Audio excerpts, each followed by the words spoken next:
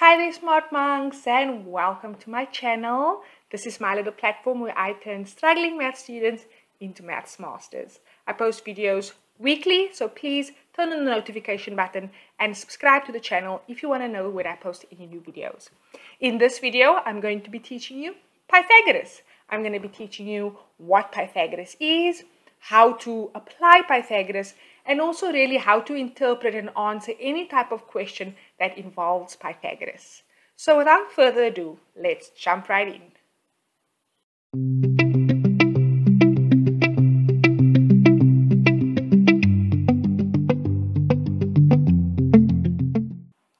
Okay, our first video on measurement.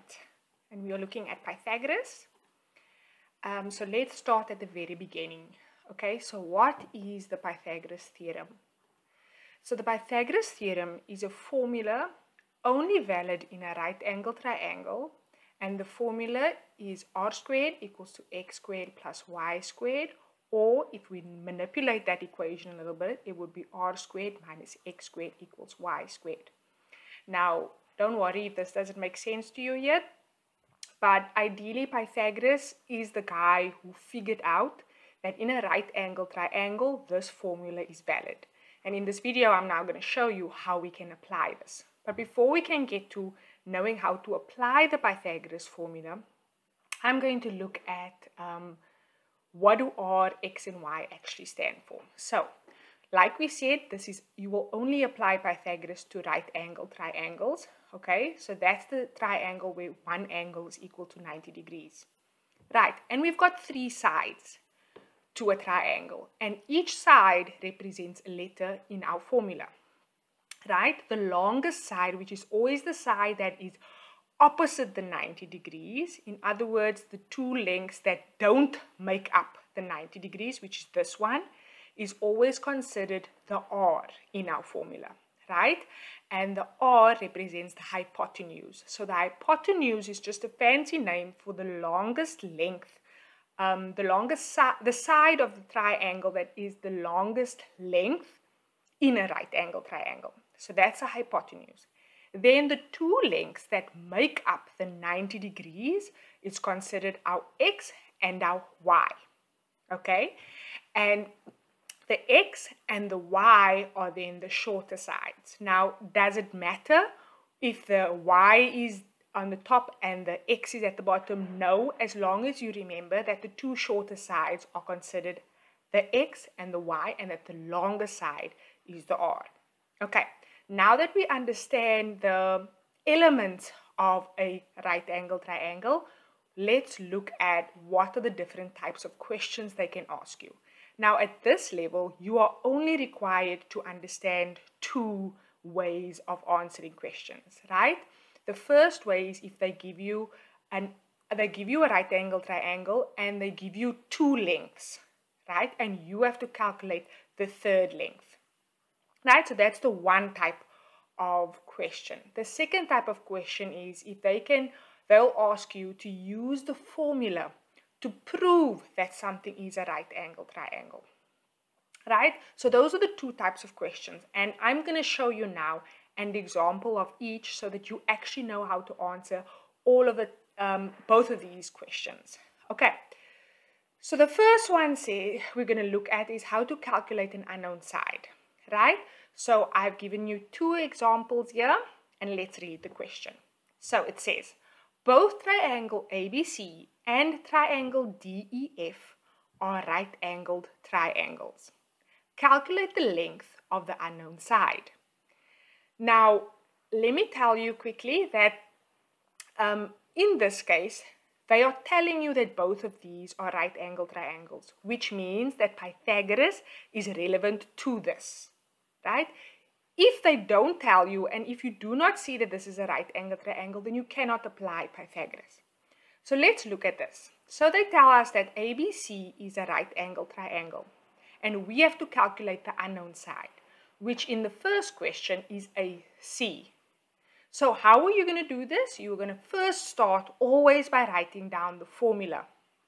Now, if you are being asked to calculate the hypotenuse. If you are being asked to calculate the longest side, the side that is opposite the 90 degrees um, angle, then you will use the formula r is equal to x squared plus y squared, right? We r we know is the longer side and x and y are the two shorter sides. Now we have in this question the two shorter sides. We have 8 and we have 6, right? So we are going to place 8 and 6 into this formula wherever we see the x and the y. And this we were, you were taught in algebra where you were going to, we call this substitution. So we are substituting the values for the letters in our formula. Okay, so that's what it's going to look like. x is 8 squared and y is 6 squared. Now it does not matter if you put the 6 first or the 8 um, second, you are still going to get the same answer as long as you make sure that the two sides that you are using that make, are the sides that make up the 90 degrees. Right. So that's r squared equals to 8 squared plus 6 squared. But what is that answer? 8 squared is 64 and 6 squared is 36. So added together, r squared is equal to 100. Now remember, we are being asked to calculate the length of AC, which is r. We are not looking for r squared. And right now, the answer to this is r squared equal to 100. So if we want to find r, we are going to square root both sides, right? So we're going to square root the r squared and we're going to square root the 100. That way, the answer will then just be r. And so r in this case is equal to 10 centimeters. And you have now calculated the length of the unknown side. Remember, I haven't included it here because this entire question is in centimeters. Your final answer will also be 10 centimeters. Okay, so that's how you use the Pythagoras formula to find the hypotenuse. Now let's look at the second question. Now, the second question, let's look at what they give us. Remember, we have x and y, and then we've got r. So in this case, the r here is the longest side, which is the 13, and it's always the side opposite the 90 degrees. Now, the two sides we know here, the x and the y, you'll see that we don't have one of the lengths. We only have the r now and we have one of the shorter sides. Now, if this is the case in the question, you are going to use the second formula, which is actually the same formula, we just manipulated it. But in this formula, there is a subtraction and not an addition. So look at this. r squared minus x squared equals to y squared okay? And this is the formula you would use if you're trying to find the shorter side, okay? So now that we have the formula, we now have to substitute the correct values in. So by r, we know it's 13, and by x, we know it's 12. So we've got 13 squared minus 12 squared would give us the y squared, which is what we are trying to calculate. And again, 13 squared is 169 minus 12 squared, which is 144. And if we do that calculation, we end up with 25. So y squared is equal to 25. And again, we are trying to find um, y, not y squared. So we would square root both sides. And this will give us y is equal to 5. Okay, so we've now calculated this length. Now guys, this hasn't been drawn to scale. okay, so if you see here, this actually looks longer than this, but if I get to the answer, it's actually 5. Um, but essentially, I'm just trying to show you how to do the calculations. In your exams, the triangles were drawn a little bit more to scale. Okay, so when you are trying to find the hypotenuse, when you are trying to find the longest side, you're going to use the equation with the addition and when you are trying to find one of the shorter sides, you are going to use a subtraction. And remember now, the y is always going to be the side that you do not know. You must always, on the left-hand side of the equal to side, you must always have both of the values in there. Okay, and that will then give us 5. And that is how you use Pythagoras to find the unknown side of a right angle triangle. So take a moment. If you're not sure how this works, go back, start over from example one right through um, until you sort of understand how this and how, how this works when you're trying to calculate an unknown side. Now I'm going to move over to the next type of question. Determine whether the triangle is a right-angled triangle. Now, it's important for you to remember that we say that the Pythagoras is only valid in a right angle triangle. So if you can prove that Pythagoras is valid in any triangle, then that obviously must mean that that triangle is a right angle triangle. I'll say that again. If I have a triangle with the lengths of the sides are valid in the Pythagoras formula, then that means that that triangle has to be a right angle triangle because a right angle triangle, um, Pythagoras only is valid in a right angle triangle. Now, in these next two examples, they are giving you all three lengths and you have to prove whether or not this triangle is a right angle triangle. So what we need to prove is we need to prove the Pythagoras formula is applicable in this triangle. So how do we do that? The first thing we will do is again, we start the formula. Now I want to show you. We've got r squared is equal to x squared plus y squared. This is the valid Pythagoras formula. What we're going to do is we're going to calculate the left-hand side and find that answer.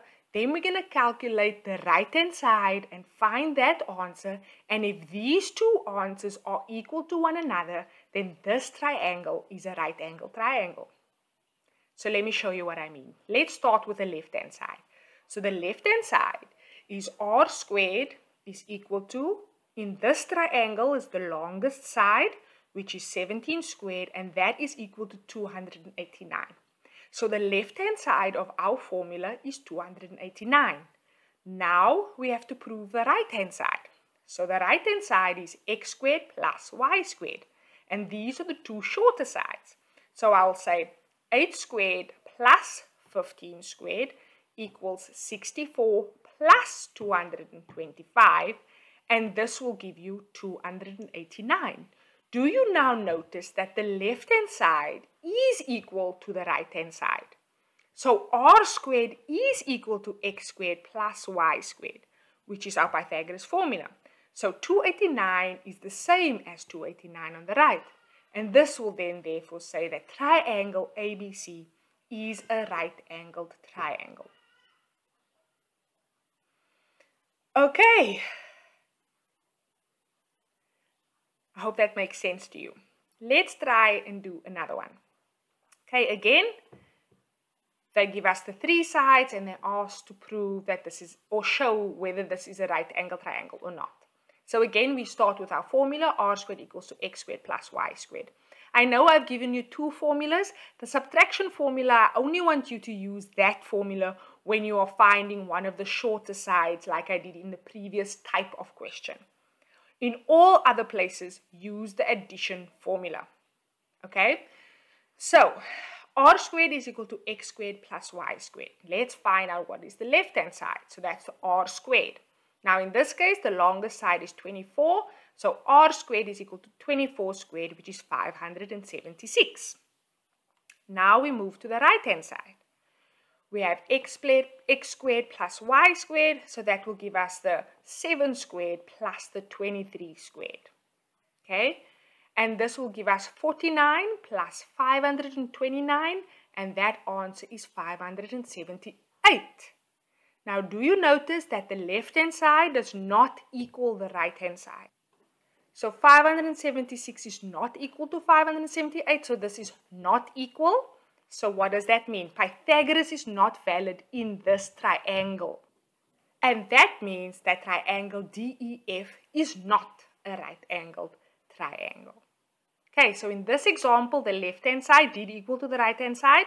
So that would mean that this is a right angle triangle. And on the right-hand side, the left-hand side didn't end up equaling the right-hand side. So therefore, this triangle is not a right angle triangle.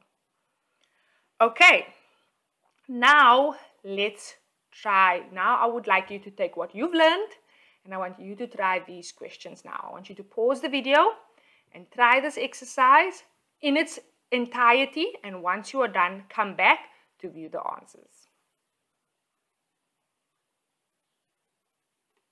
Okay, so I hope you did the questions and I hope you feel like you understand this work and that you felt confident about your answers. I'm going to quickly tell you what the answers actually were for these questions and you can mark to see if you got it correct. So if I look at triangle ABC, here you have to calculate the length of BC. So you have to say the longest side. So you have to use for this, because it's one of the shortest sides that you need to calculate, you have to use the formula with a subtraction right? And if you use the formula with a subtraction and the method that I showed you in this video, for BC, you would have gotten 20 centimeters. Okay, then in question two, you now were asked to answer the, to calculate the longer side, right? So again, you had to use now the addition formula for this one. Okay? And always check, if you had to calculate the longer side and your answer is bigger than the other two sides, then you know that you're on the right track. If it's smaller, then obviously you made a mistake somewhere. Okay, so for the last one now, we need to prove that triangle ABC and triangle DEF are right-angled triangles. Okay, so you've given the three sides here, right?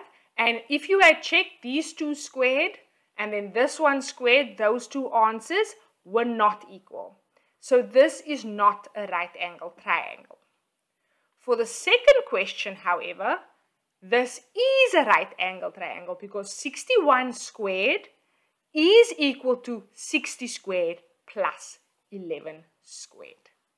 And that is your answers. Hopefully you got it right. If you didn't, just try and go back to the part in the video where I explain it to you step by step and try and redo it up until you do get the right answer. This way you can actually identify where you are making your mistakes and that is Pythagoras. Alright, so there's that video. Hopefully you found it helpful. If you did, I'd appreciate a thumbs up. If you have any questions, you can add it in the comment section below. Also, keep your eye out on my community page on my channel for when you can actually find a link below this video where I will link you out to a worksheet that you can use to actually practice the work you've learned in this video. Thank you so much for watching and I will see you in the next video. Bye guys!